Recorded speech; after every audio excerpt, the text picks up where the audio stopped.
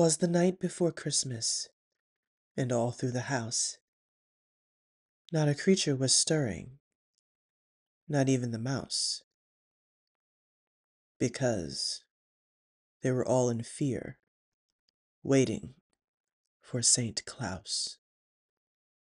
All the windows are boarded and nailed tightly shut, even the chimney boarded off so there would be no way in and no way out. For the scourge of Christmas is lurking about. He had a red suit, this much was true, but it was red from all the victims that he slew. Even the ragged beard on his face was covered in blood, and his boots were splattered with clay and mud. His eyes were a bright yellow, almost the same as his teeth, and his reindeer were feral, monstrous beasts. For they were not there to bring Christmas cheer, but more to bring on terrifying fear. As people hide in their basements, clutching their children so tight, hoping none of them would dare die tonight. It didn't matter if you were bad or good, he would come and take you away. It doesn't matter what you did. For the terrifying old elf wasn't biased at all.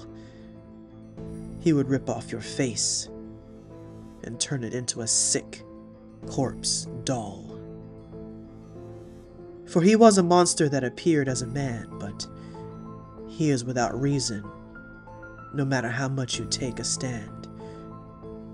He's been shot at, stabbed, blown up, and more.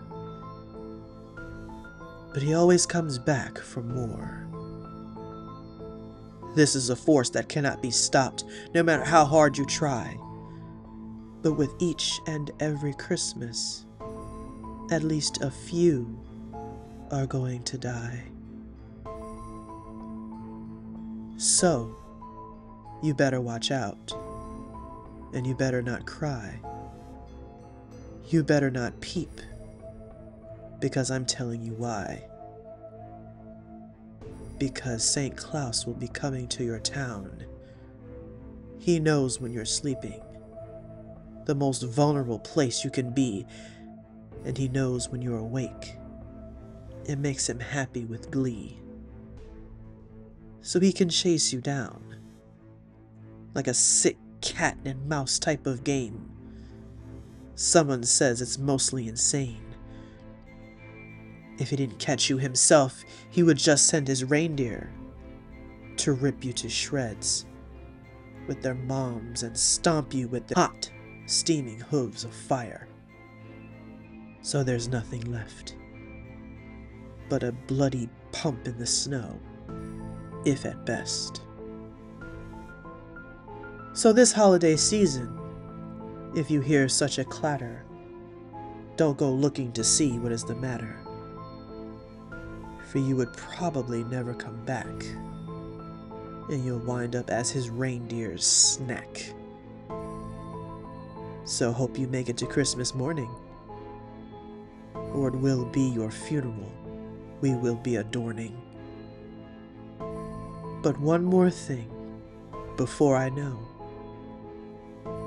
Merry Christmas to you all, and may God have mercy on your soul.